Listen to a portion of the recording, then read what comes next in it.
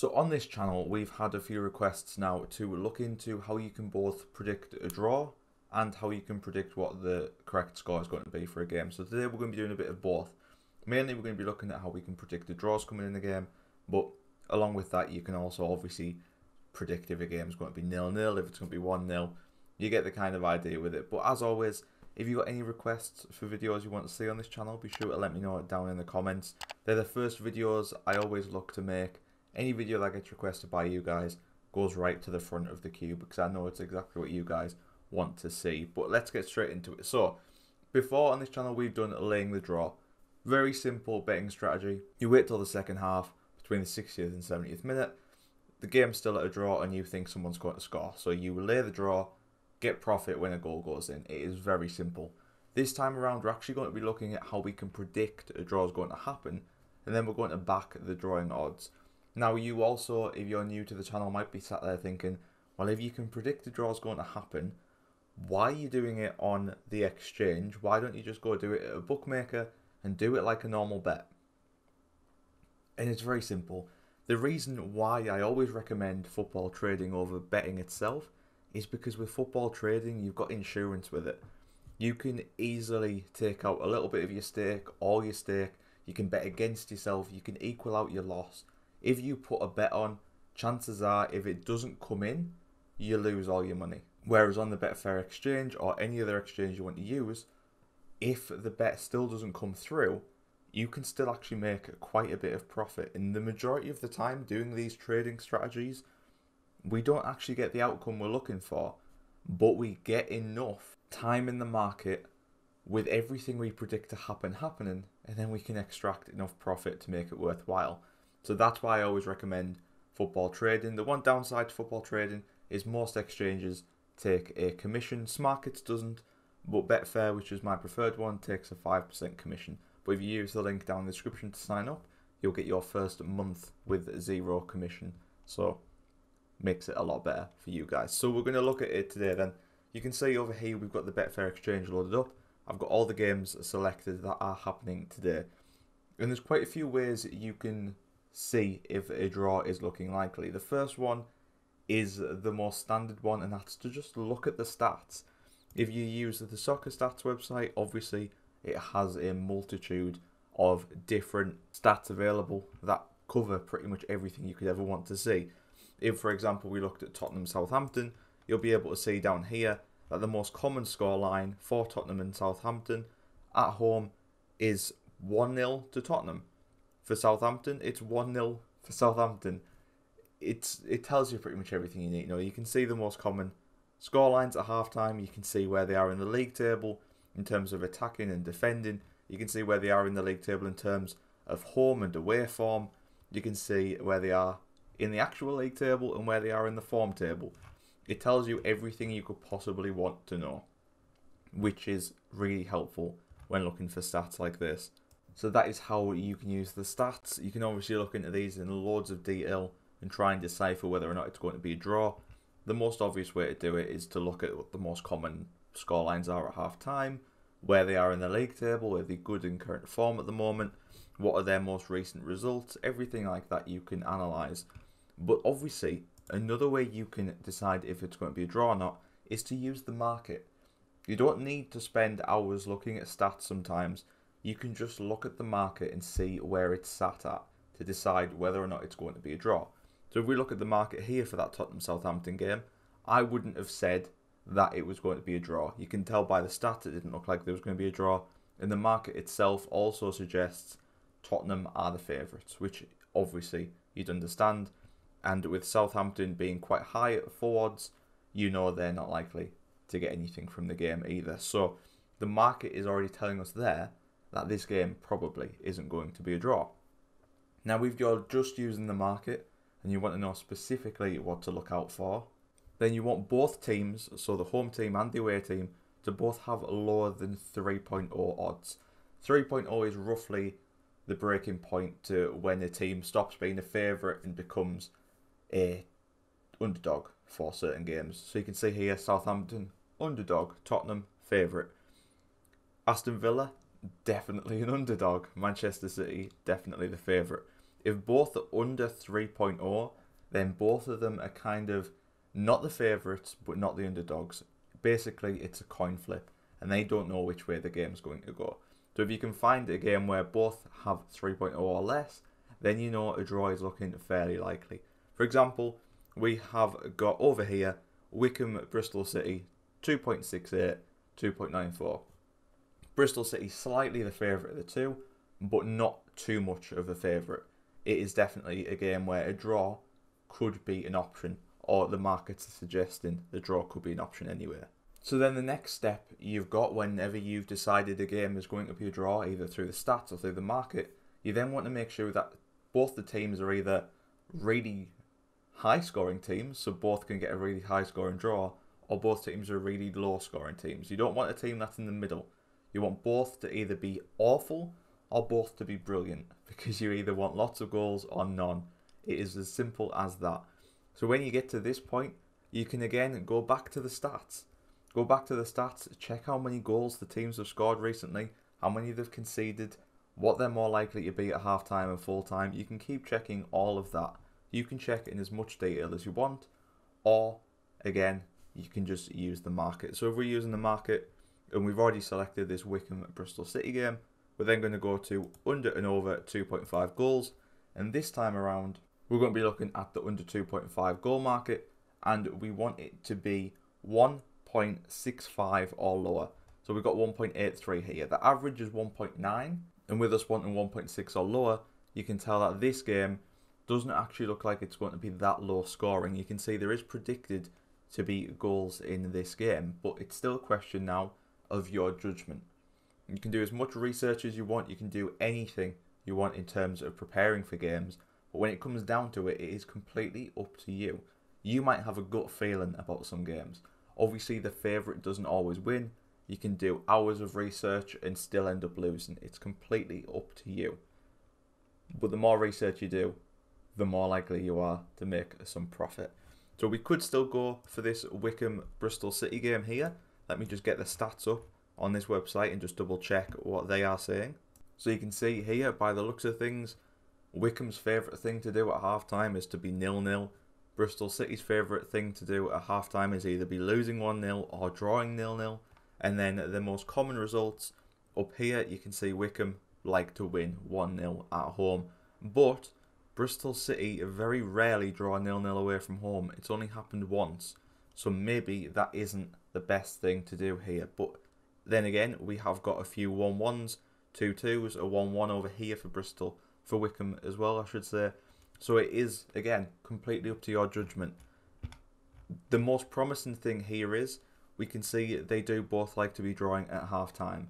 So if we got to half time and it was still a draw, we would have made some substantial profit and we would be able to start extracting some of that profit to make sure we don't lose any money. So personally, I would go for this game. I would back the draw, maybe put on 20, 30 pounds, and as the game went on, hoping it would still be nil nil, I'd then slowly start to withdraw my stake, pretty much like you do with the over 2.5 goals. It's almost identical to that one, except if a goal goes in here, it's not the end of the world because a draw is still fairly likely to happen. A draw can happen with 10 goals in the game, 12 goals in the game, as many goals as you want. But with the under 2.5 goals, the second one goal goes in, you've lost the majority of your stake. But doing the draw is a bit more safer, and we can predict it a little bit more as well. So I would probably go for this with the Wycombe Bristol City game. But there's loads of methods you can use to predict these draws. The next key bit of information is does any team out of these teams need a win? Do they desperately need a win? Because if they desperately need a win, that's going to put things in a little bit harder to predict territory because although you can predict what teams have done all season, if a team suddenly starts fighting really hard for the wins that they need, anything can change and the stats go out the window. So if we look at the league table, which is the best judge of this, you can see that Wycombe are bottom. Are they looking like they're going to stay up? Probably not. So you can probably say they're down and they won't care too much. Bristol City also look as if They're smack bang in mid table, already confirmed to be up 50 points is what you need in the championship. You've got to argue they don't really care about this game either. So we've got two teams there who probably won't really be caring about it as much. That can either mean it's going to be a massive high scoring game or it's just going to be a dull nil nil. But there we go. That's a few little methods you can use to predict some draws. So what I'm actually going to do now is go do some research myself, and I'm going to select three games that I think tonight will end up being a draw, and then we'll come back afterwards and see if I was right for any of them. So then the two games I've selected are Ross County versus St Mirren and Hoffenheim versus Gladbach. I haven't used the market to suggest these, I've just used stats because they're the ones I prefer and I prefer looking at them. I feel like they're a little bit easier for me to get my head round. But we can see Ross County St Mirren over 3.0 for the draw, which is a perfect set of odds because it leaves enough room for them odds to drop for you to be able to extract some profit. We then got Hoffenheim and Gladbach, 3.85 odds for the draw. Again, huge room for them odds to be able to drop as the game stays at a draw to be for you to be able to get that profit out. So if we look at Hoffenheim Gladbach, you can see Hoffenheim's last two games have both been nil-nil, whereas Gladbach won 4-0, but then there was a draw before then. Their most recent away game was a draw. Hoffenheim's most recent home game was a draw. If we look down at the most common scorelines they've had at half time, both teams topping it out with nil nils, and then Gladbach, although they do tend to be winning at half time most of the time, full time, they tend to draw. 2 2, 3 3, 1 1, 0 0, all there in their score lines for being away from home. Hoffenheim's favourite home result, apart from a 3 1 defeat, is 0 0. So I would go for that one. I wouldn't be as confident with this one because there does seem to be a lot of goals flying around. So you never know where that'll end up. But I would be quite happy taking this one to at least half time with the draw bet on just because both do tend to like being at nil nil. We then have Ross County and St Mirren. You can see here St Mirren seem to love a draw. Not so much the last four games, but before then, it looks like it's all they did.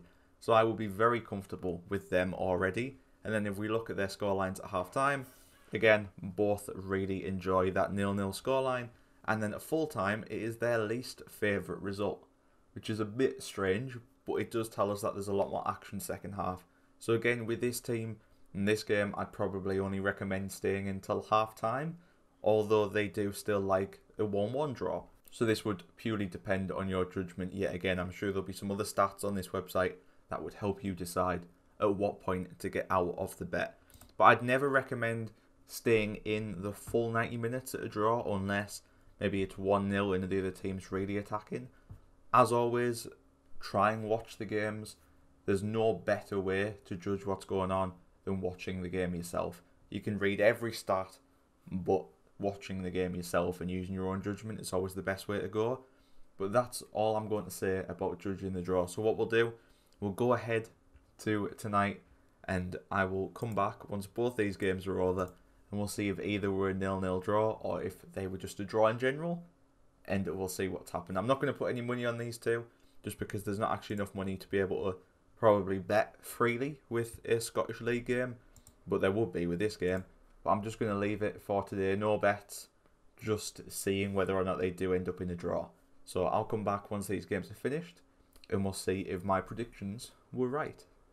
So the three games are now all over, and no, none of them ended in a draw. But like I said before, we're not looking for it to finish as a draw because we're not betting as that being our only outcome. We would gradually have reduced our stake in some of these games, or we would have cashed them out at the best possible value. Like you do with all football trades, you're not always looking for that exact outcome. You're just looking to have that outcome look possible for long enough for you to get a profit. So, with the three games, if we look at Wycombe, Bristol City, that was one of the ones that was first looked at, looking through just the betting odds rather than looking at the stats.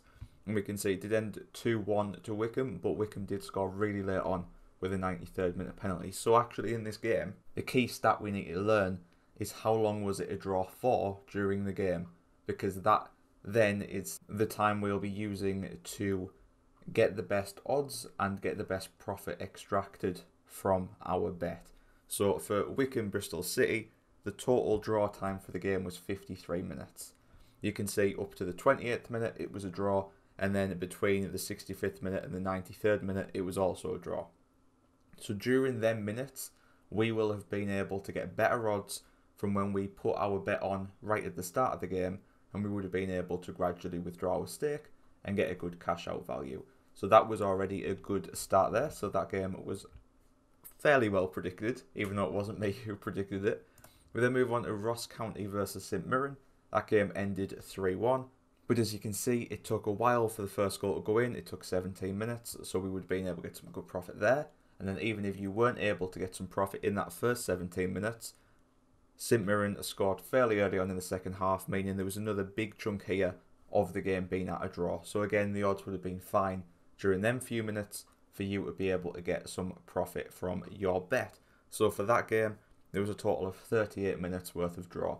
So we've so far had two big periods of draw where we'll be able to get some profit. So I feel like these two games were successful, as was Hoffenheim and Gladbach. Wasn't as successful as the other two, but it would have been a lot more successful if we had used the Paddy Power 2 up method. If you don't know what I'm going on about, check out the video on the channel for that method. But as you can see, a 2 up method essentially is you bet for a team to go two goals up, you get the profit from one site, and then you get the profit from another site when they eventually don't end up winning that game so it would have been perfect for the Gladbach game. As we can see though, we did get 24 minutes initially of it being a draw, and then we got a tiny little bit of draw there as well between Hoffenheim's second and third goal. So we only got 29 minutes in total, which isn't great, but again, it's still better than nothing. If you'd have put the bet on right at the start, you would have had the first 24 minutes to make some profit, and then you would have also had these five minutes here to make some profit as well if you didn't get your cash out in time for that first goal. I did end up doing the over 2.5 goal method, or the under 2.5 goal method, I should say, for the Hoffenheim Gladbach game. So we did manage to get some profit today out of our bet. Let me just open this up and show you that. You can see there we managed to make £3.57 pence after the 5% commission, of course, from a Betfair. So that was a good little return from a £10 bet on the Hoffenheim Gladbach game. But there you go, it's as simple as that. Yes, our method didn't actually end up predicting a draw. There was quite a few games tonight that did end in a draw, but we didn't predict any of them. But the key thing to take from here is we predicted some games where there was a huge period of it being a draw in the game, and the odds for it to be a draw before the game kicked off were fairly high. So we would have been able to extract quite a big bit of profit from each of them three games.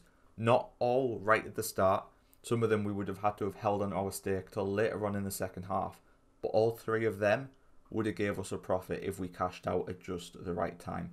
So if you enjoyed this video today, please be sure to hit that like button and the subscribe button if you're new as well. But please also do let me know down in the comments any sort of video you want to see on this channel and I'll be sure to get it done. Doesn't need to be specific to football trading, it can be anything as long as it's working around making some money online. In case you're wondering, We've got quite a few videos coming up in the next few weeks. We've got a week long video of me following trades or just following bets from a football tipster over on Twitter. We then got a day working over on Clickworker, and we've got a load more in the pipeline too. But if you've got a specific request, let me know down below and I'll get working on it. But thank you for watching. I'll see you next time.